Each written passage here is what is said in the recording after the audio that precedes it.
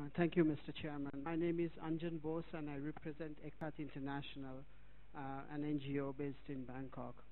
Uh, we just heard some time ago that uh, there has been a mention of uh, not including any discussions regarding child pornography in the next IGF or minimizing such discussions.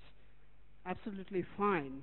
We would be happy if there is no discussion, which means all the solutions all the recommendations that has been put forward uh, has worked perfectly, and in the next IGF, we would come up with all the solutions hand in hand. Um, so I would really love to see that happening.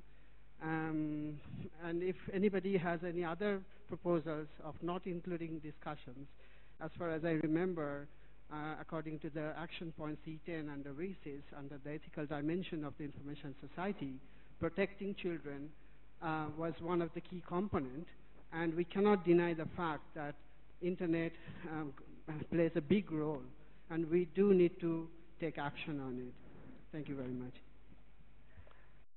I, I, I think, if I may reply on, on Mr. Lau's side, he never meant that you shouldn't take action on it.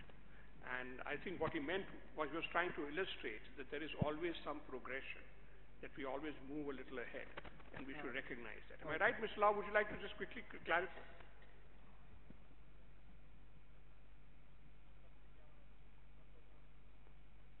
Thank you, Mr. Chair. Uh, you have put it very succinctly, but I could also add. I use the word children or child pornography.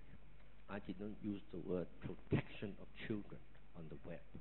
It's a whole wide variety of issues out there about protection of children on the web. I did not say that. So please uh, understand me. I was just, as I was saying, I'm trying to illustrate a point about the, the platform of IGF, as I know it, being a newcomer, is we are not, we do not have negotiated outcome.